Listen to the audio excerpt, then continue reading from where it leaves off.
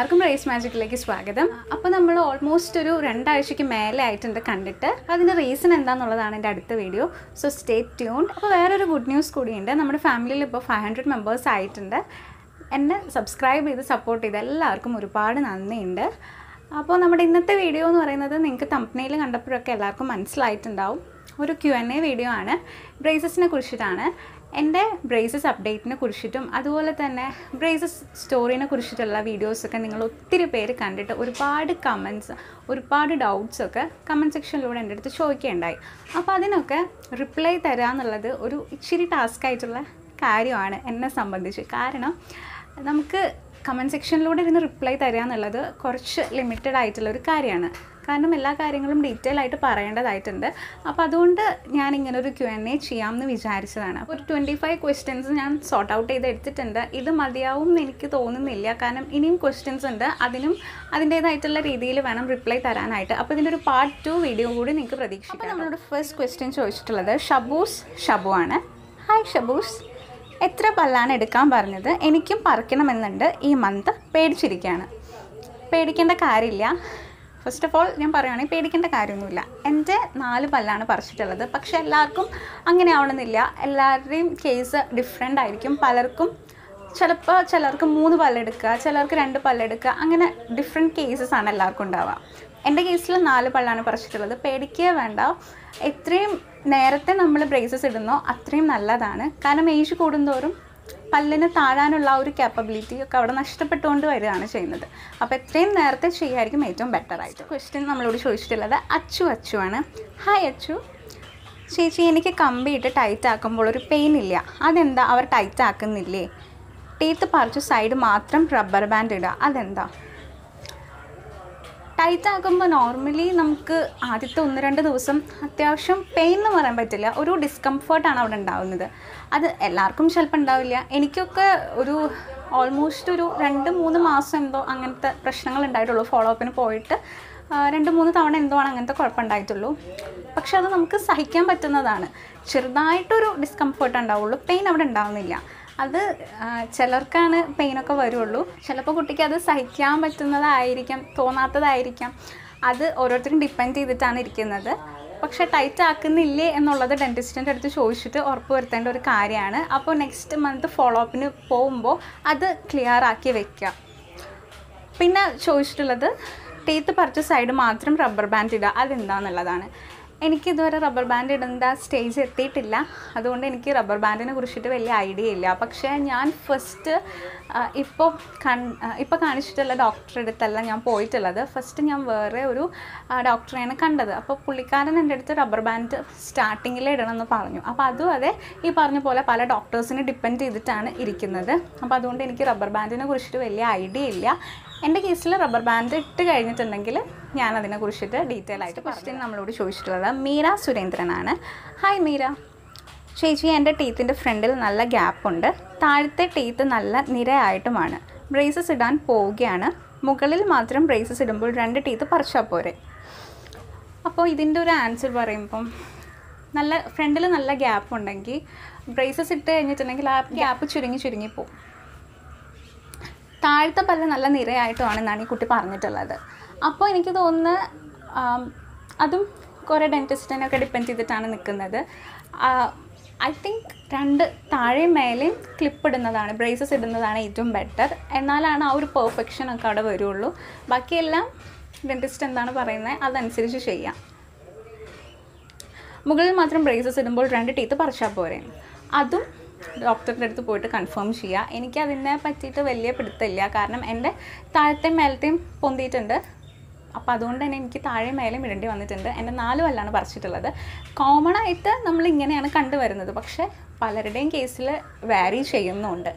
ഡെന്റിസ്റ്റിനെ കണ്ടതിന് ശേഷം മാത്രം ഉറപ്പ് വരും. നെക്സ്റ്റ് ക്വസ്റ്റ്യൻ നമ്മളോട് ചോദിച്ചിട്ടുള്ളത് ശ്രീലക്ഷ്മിയാണ്. ഹായ് ശ്രീലക്ഷ്മി. എടാ ഫേസ് ലെങ്ത്തി ആയി തോന്നുന്നുണ്ട്. ഫേസ് വൃത്തികേടാവൂടാ. ഇനിയും വൺ ഇയർ ഉണ്ട് എനിക്ക്. ഫേസ് ലെങ്ത്തി ആയിട്ട് തോന്നുക മീൻസ് എനിക്ക് മനസ്സിലായില്ല കുട്ടി ശരിക്കും എന്താണ് ഉദ്ദേശിച്ചത് എന്നുള്ളത് നോർമലി ഫേസ് വൃത്തികേടാവില്ല. നമ്മളുടെ അടുത്ത് ഇപ്പം ഞാൻ നേരത്തെ പറഞ്ഞ പോലെ തന്നെ പലരെയും ഡിപ്പെൻഡ് ചെയ്ത് നിൽക്കും. നമ്മൾ എത്രത്തോളം ബ്രേസസ് ഇടുന്നു എത്ര കാലത്തോളം ബ്രേസസ് ഇടണം. പിന്നെ ബാക്കിയെല്ലാം നമ്മൾ ഫോളോ അപ്പിന് കറക്റ്റായിട്ട് പോകുന്നതനുസരിച്ചും ഡോക്ടർ നമുക്ക് പറഞ്ഞു തരുന്ന കാര്യങ്ങൾ നമ്മൾ എത്രത്തോളം പ്രാവർത്തികമാക്കുന്നു അതിനൊക്കെ ഡിപ്പെൻഡ് ചെയ്തിട്ടാണ് നമ്മളുടെ ആ ഒരു ബ്രേസസ് ജേണി എന്ന് പറയുന്നത് കംപ്ലീറ്റ് ആവുന്നത്. അത്രയും ഭംഗി വയ്ക്കും നമ്മൾ ആക്ച്വലി ഇത് ഈ ഒരു ട്രീറ്റ്മെന്റ് പീരീഡ് കഴിഞ്ഞിട്ട് റിട്ടേണേഴ്സൊക്കെ യൂസ് ചെയ്ത് കഴിഞ്ഞ് നമ്മളെ കാണാൻ തന്നെ മൊത്തത്തിലൊരു ഭംഗി ഉണ്ടാവുകയാണ് ചെയ്യുന്നത്.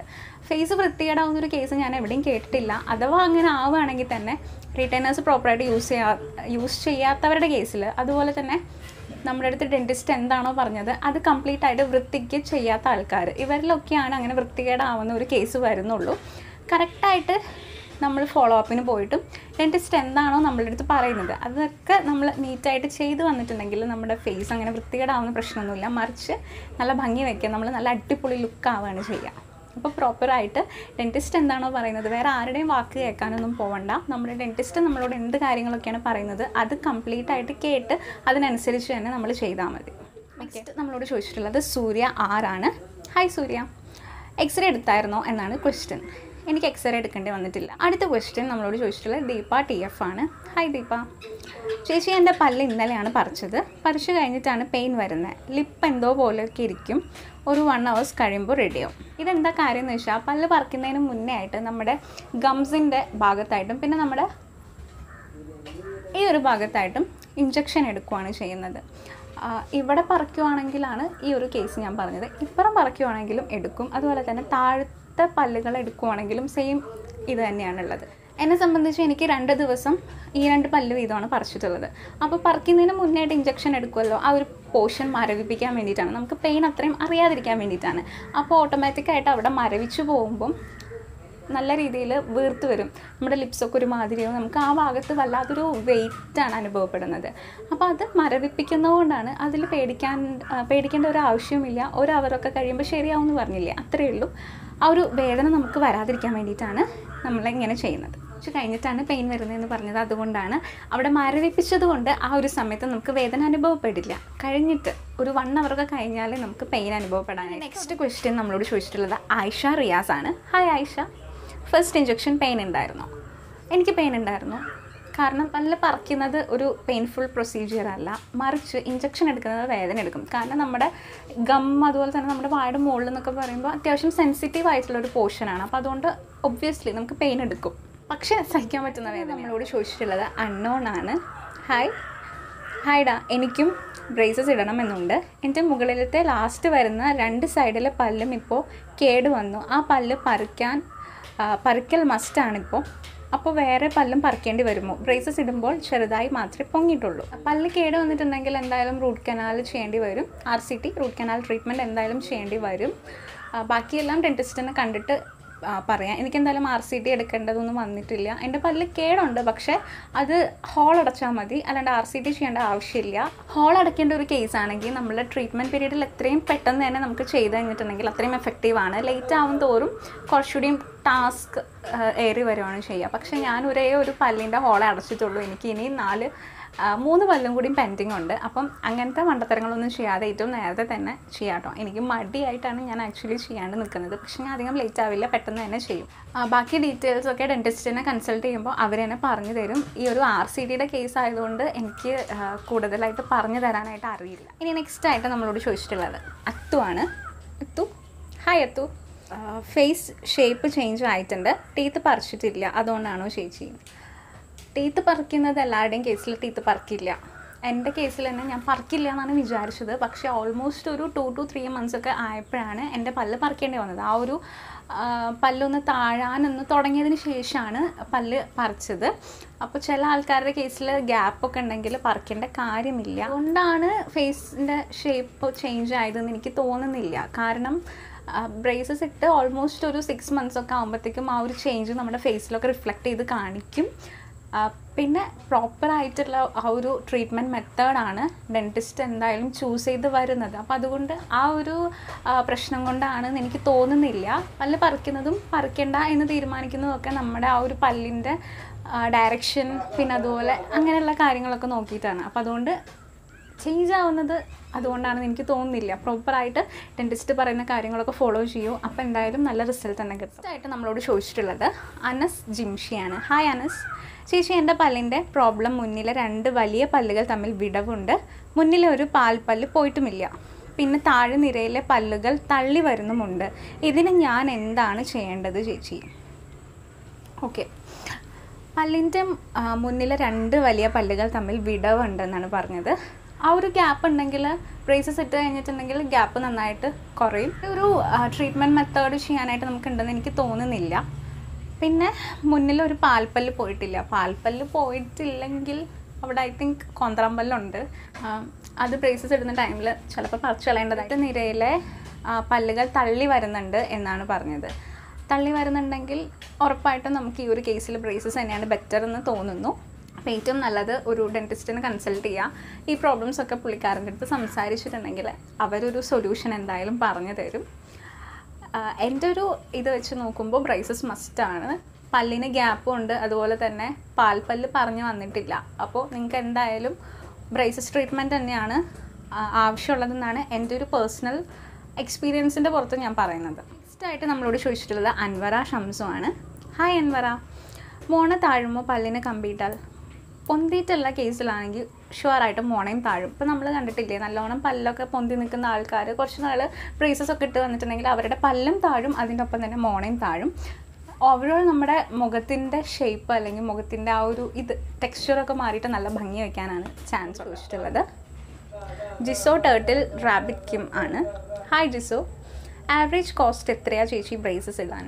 ആവറേജ് കോസ്റ്റ് പറയുമ്പോൾ ഒരു ഫിഫ്റ്റീൻ തൗസൻഡ് ഒക്കെയാണ് ആവറേജ് കോസ്റ്റ് പക്ഷേ പല പല സ്ഥലങ്ങളിൽ ഡിപ്പെൻഡ് ചെയ്ത് നിൽക്കും. ഇപ്പോൾ സിറ്റിയിലൊക്കെ ആണെങ്കിൽ ട്വന്റി ട്വന്റി ഫൈവ് തൗസൻഡ് ഒക്കെയാണ് വരുന്നത്.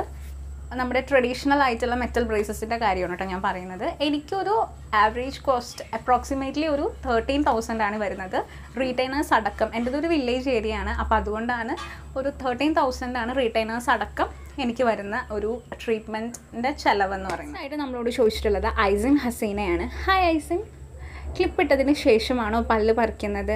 എന്റെ പല്ല് കമ്പി ഇടണമെന്നുണ്ട് പറയുകയാണെങ്കിൽ ഇത് ഓരോ ഡെന്റിസ്റ്റിനെ ഡിപ്പെൻഡ് ചെയ്തിട്ടാണ് നിൽക്കുന്നത്.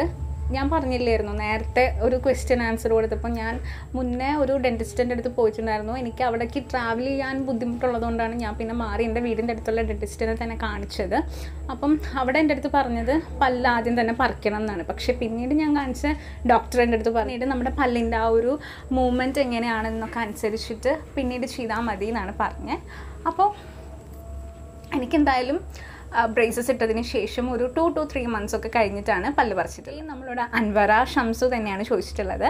താഴെ പല്ലിനും കമ്പിയിട്ടോന്ന് ആ എനിക്ക് താഴെയും മേലെയും പല്ലിന് കമ്പിയിട്ടിട്ടുണ്ട് നെക്സ്റ്റ് നമ്മളോട് ചോദിച്ചിട്ടുള്ളത് അബൂബക്കർ സിദ്ദിഖാണ്. ഹായ് എന്തൊക്കെ ഫുഡ് കഴിക്കാം ഫസ്റ്റ് ഡേ ഫസ്റ്റ് ഡേ നമുക്ക് സോഫ്റ്റ് ഫുഡ് ഐറ്റംസ് എന്ത് വേണമെങ്കിലും കഴിക്കാം. ഇപ്പോൾ എന്താ പറയുക ബ്രേസസ് ഒക്കെ ഇട്ട് വന്ന ഉടനെ നമുക്ക് ഐസ്ക്രീം ഒക്കെ കഴിക്കാനൊക്കെ ആയിട്ട് തോന്നും. അപ്പോൾ അത് കഴിക്കാം. പിന്നെ ഹാർഡ് ഫുഡ്സ് ഒന്നും ഫസ്റ്റ് ഡേ നമുക്ക് കഴിക്കാനേ പറ്റില്ല. കാരണം നമ്മുടെ വായിലൊരു ഒരു ഭാരം വന്നിരിക്കുന്ന പോലെ തോന്നും. അപ്പോൾ ഒട്ടും നമ്മുടെ ടീത്ത് അങ്ങനെ ആ ഒരു രീതിയിൽ ചവയ്ക്കാനായിട്ടൊന്നും പറ്റില്ല. സോഫ്റ്റ് ഫുഡ് ഐറ്റംസ് മാക്സിമം കഴിക്കാനായിട്ട് നോക്കുക. ഞാൻ ഫസ്റ്റ് ഉഴുന്നുവടയൊക്കെ കഴിക്കാനായിട്ട് നോക്കിയിട്ടുണ്ട്. പക്ഷേ എന്നെ കൊണ്ട് ഒട്ടും നടന്നിട്ടില്ല. നമുക്ക് മര്യാദയ്ക്കൊന്നും ചവയ്ക്കാൻ പോലും പറ്റില്ല. അപ്പോൾ അതുകൊണ്ട് മാക്സിമം സോഫ്റ്റ് ആയിട്ടുള്ള ഫുഡൊക്കെ ചോദിച്ചിട്ടുള്ളത് ഫാത്തിമ ഷാനി കെ പി ആണ്. ഹായ് ഫാത്തിമ. ബ്രേസസ് ഇട്ടിട്ട് ടീത്ത് എങ്ങനെയാണ് ക്ലീൻ ചെയ്യുന്നത്? മൗത്ത് വാഷ് യൂസ് ചെയ്യുന്നുണ്ടോ? ബ്രേസസ് ഇട്ടിട്ട് ടീത്ത് ക്ലീൻ ചെയ്യാനായിട്ട് ഓർത്തോഡോണ്ടിക് ബ്രഷാണ് നമുക്ക് ഡോക്ടർ സജസ്റ്റ് ചെയ്ത് തരിക അത് എല്ലാ മെഡിക്കൽ ഷോപ്സിലും അവൈലബിൾ ആയിട്ടുള്ള ഒരു ബ്രഷാണ് നമ്മുടെ നോർമൽ ബ്രഷിനേക്കാളും കുറച്ചുകൂടി ഡിഫറെന്റ് ആണ്. അതിന്റെ ആ ഒരു സർഫസിൽ നടുക്കിലുള്ള പോർഷൻ കുറച്ച് കുഴിയിലായിട്ടിരിക്കുന്നത്. അതാണ് ഓർത്തോഡോണ്ടിക് ബ്രഷ് എന്ന് പറയുന്നത്. നമ്മുടെ ബ്രൈ നമ്മുടെ ബ്രേസസിനുള്ള ആ ഒരു ഡയറക്ഷൻ മര്യാദയ്ക്ക് നമുക്ക് തേക്കാനായിട്ട് ഈ ഒരു ബ്രഷ് ഒത്തിരി ഹെൽപ്പ് ചെയ്യുന്നുണ്ട്. പിന്നെ മൗത്ത് വാഷ് വെച്ചിട്ട് ക്ലീൻ ചെയ്യുന്നത് നമുക്ക് വേണമെങ്കിൽ ചെയ്യാം. പക്ഷേ ഒട്ടുമിക്ക എല്ലാ ഡെന്റിസ്റ്റും സജസ്റ്റ് ചെയ്യുന്നത് മൗത്ത് വാഷ് യൂസ് ചെയ്യണം എന്നാണ് കാരണം ഭയങ്കര കോംപ്ലിക്കേറ്റഡ് ആണ് പല്ല് തേക്കുക എന്നുള്ളൊരു പ്രൊസീജിയർ വരുന്നത്. നമ്മൾ സെപ്പറേറ്റ് ഓരോ പല്ലും എടുത്തിട്ട് ടൈം എടുത്തിട്ട് ഒരു ട്വന്റി സെക്കൻഡ്സ് എങ്കിലും ഓരോ പല്ലിന് വേണ്ടി നമ്മൾ മാറ്റി വെക്കണം. അപ്പോൾ അങ്ങനെയുള്ളൊരു കേസ് ആകുമ്പോൾ നമുക്ക് മൗത്ത് വാഷ് യൂസ് ചെയ്യുന്നത് കുറച്ചുകൂടിയും ബെറ്ററാണ് ഞാൻ ആദ്യം യൂസ് ചെയ്തിരുന്നു. ഇപ്പം അങ്ങനെ യൂസ് ചെയ്യാറില്ല. പക്ഷേ ഏറ്റവും നല്ലത് മൗത്ത് വാഷ് നമ്മൾ ഇടയ്ക്കിടയ്ക്ക് യൂസ് ചെയ്യുന്നത് തന്നെയാണ്. ഫുഡ് കഴിച്ചിട്ട് ഹാഫ് ആൻ അവർ കഴിയുമ്പോഴാണ് ബ്രഷ് ചെയ്യേണ്ടത്. ആ ഒരു ടൈമിൽ മൗത്ത് വാഷ് യൂസ് ചെയ്താൽ കുറച്ചുകൂടിയും ബെറ്റർ ആയിരിക്കും. ആയിട്ട് നമ്മളോട് ചോദിച്ചിട്ടുള്ളത് അനു ജോർജ് ആണ് hi Anu. Time duration for your treatment എന്റെ ടൈം ഡ്യൂറേഷൻ പറയുമ്പം അപ്രോക്സിമേറ്റ്ലി ഫിഫ്റ്റീൻ മന്ത്സ് ആണ്. അത് കഴിഞ്ഞിട്ട് എന്റെ അടുത്ത് റീറ്റൈനേഴ്സ് ഇടണം എന്നും പറഞ്ഞിട്ടുണ്ട്. എഗെയിൻ നമ്മളോട് ചോദിച്ചിട്ടുള്ളത് ഷബൂസ് ഷബു ആണ്. ഇതാ ഫ്രണ്ട്സിൽ ചിലർക്ക് ബ്രേസസ് ഇട്ടിരുന്നു എന്ന് പറഞ്ഞില്ലേ? അവർക്ക് ക്ലിപ്പ് അയച്ച ശേഷം വീണ്ടും ഗ്യാപ്പോ പല്ല് പൊങ്ങുകയോ ചെയ്യുന്നുണ്ടോ? ചിലരൊക്കെ പറയുന്നു വീണ്ടും ഗ്യാപ്പ് വരുമെന്നൊക്കെ. തളർത്താണ് നമ്മളെ. അത് എന്റെ ഫ്രണ്ട്സ് പറഞ്ഞിട്ടുള്ളത് ഡോക്ടർ എന്താണോ നമ്മളോട് പറയുന്നത് അതിനനുസരിച്ച് നമ്മൾ ഫോളോ ചെയ്ത് കഴിഞ്ഞിട്ടുണ്ടെങ്കിൽ ഒരു മോശം എക്സ്പീരിയൻസ് അവിടെ ഉണ്ടാകുന്നില്ല പ്രോപ്പറായിട്ട് നമ്മൾ റിട്ടേണേഴ്സ് യൂസ് ചെയ്യുക ട്രീറ്റ്മെന്റ് പീരീഡ് കഴിഞ്ഞതിന് ശേഷം. അങ്ങനെയാണെങ്കിലൊന്നും പല്ല് പിന്നെയും പൊന്തില്ല. അതുപോലെ നമ്മൾ കിടന്നുറങ്ങുന്ന ടൈമിൽ നമ്മൾ അത്രയും അവെയർ ആയിരിക്കണം. നമ്മൾ നമ്മുടെ വായ അടച്ചിട്ടാണ് കിടന്നുറങ്ങുന്നത് എന്നുള്ളതിനെ പറ്റിയിട്ട് നമ്മൾ അത്രയും അവെയർ ആയിരിക്കണം.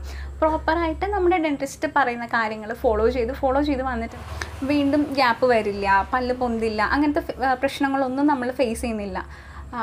പ്രൊവൈഡഡ് നമ്മൾ നമ്മളുടെ ഡെന്റിസ്റ്റ് എന്താണോ പറഞ്ഞ് ആ കാര്യങ്ങളൊക്കെ അതുപോലെ തന്നെ അനുസരിക്കും.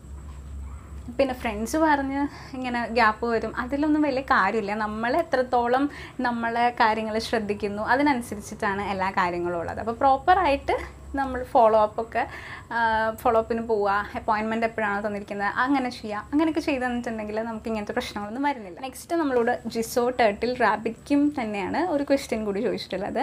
എനിക്കിപ്പോൾ കമ്പി ഇടണമെന്നുണ്ട് ചേച്ചി. പക്ഷേ കോവിഡ് അല്ലേ? ഒരു പേടി. പേടിയുടെ ആവശ്യമുണ്ടെന്ന് എനിക്ക് തോന്നുന്നില്ല. കാരണം ഞാനും ഈ ഒരു കോവിഡ് കാലത്ത് പോയിട്ട് തന്നെയാണ് എന്റെ ബ്രേസസ് ചെയ്തിട്ടുള്ളത്.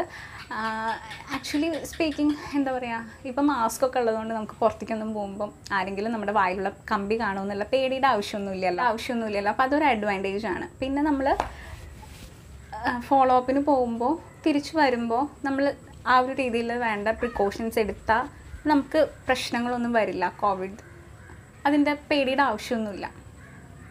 പിന്നെ ക്ലിനിക്കിലുള്ള സ്റ്റാഫ് ഡോക്ടേഴ്സൊക്കെ അവരും അത്രയും പ്രിപ്പയർഡ് ആയിരിക്കും. അവർ പി പി കിറ്റ് ധരിച്ചിട്ടുണ്ടാവും മാസ്ക് ഫേസ് ഷീൽഡ് ഇതെല്ലാം ധരിച്ചിട്ടുണ്ടാവും. പിന്നെ നമുക്കും അവരവിടെ എത്തുമ്പോൾ ഹാൻഡ് സാനിറ്റൈസർ തരുന്നുണ്ട്.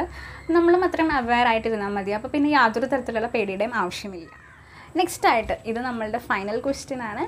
റാഷ് മാലിക്കാണ് ചോദിച്ചിട്ടുള്ളത്. ഹായ് റാഷ് ചേച്ചി ഒരു കാര്യം ചോദിക്കട്ടെ. എന്റെ പല്ലിൽ കമ്പി ഇടാൻ വേണ്ടി മുത്തിട്ടിട്ടുണ്ട് ടു വീക്സ് കഴിഞ്ഞ് വരാൻ പറഞ്ഞിട്ടുണ്ട്. കോട്ട് പല്ലിൽ നാല് ഭാഗത്തും റബ്ബർ ബാൻഡ് ഇട്ടിട്ടുണ്ട്. അതിലൊന്ന് പൊട്ടിപ്പോന്നു ഇനി എന്താ ചെയ്യുക വേറെ റബ്ബർ ബാൻഡ് ഇടേണ്ടി വരുമോ പല്ലിൽ കമ്പി നോർമലി നമ്മൾ കട്ട വെക്കുന്ന ടൈമിലാണ് മുത്തിടുക. കട്ട വെച്ചിട്ട് പിന്നെ നെക്സ്റ്റ് മന്ത് ഫോളോ അപ്പിന് പോയപ്പോഴാണ് എന്റെ ആ ഒരു മുത്ത് അഴിച്ചു മാറ്റിയിട്ടുള്ളത്. വൺ മന്ത് എന്റെ പല്ലിൽ മുത്തുണ്ടായിരുന്നു. അടുത്ത തവണ ടൈറ്റ് ചെയ്യാൻ വേണ്ടി പോയപ്പോഴാണ് എന്റെ പല്ലിൽ മുത്ത് മാറ്റിയത്. ടു വീക്സിന്റെ ഗ്യാപ്പ് എന്തുകൊണ്ടാണ് വന്നതെന്ന് എനിക്കറിയില്ല കേട്ടോ. എനിക്കെന്തായാലും ഒരു ദിവസത്തെ ഗ്യാപ്പാണ് കട്ട വെച്ചതിന് ശേഷം കമ്പിടാനും പിന്നെ മുത്ത് ഞാൻ പറഞ്ഞില്ലേ ഒരു മാസത്തോളം ഇട്ടിട്ടുണ്ട്.